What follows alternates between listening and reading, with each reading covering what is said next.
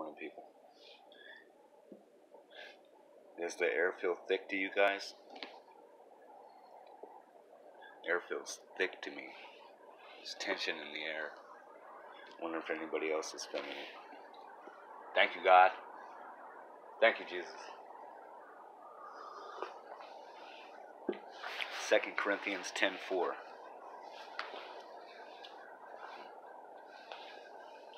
I'm gonna keep my prayers going out for everybody out there.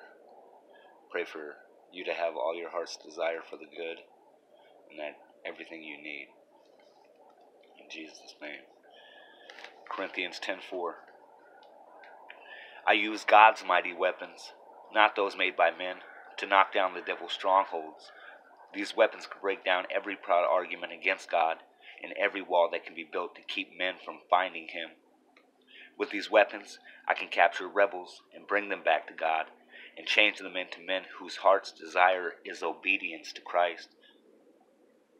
I will use these weapons against every rebel who, who remains after I have first used them on yourselves and you surrendered to Christ. I have first used them on yourselves and you surrender to Christ. It's all about surrender. I take my will and push it aside. I know that uh, God's path is righteous. That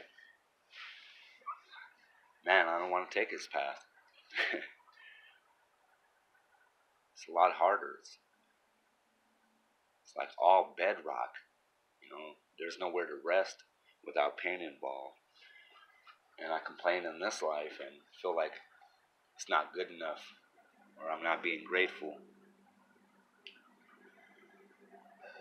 Gotta surrender, you know.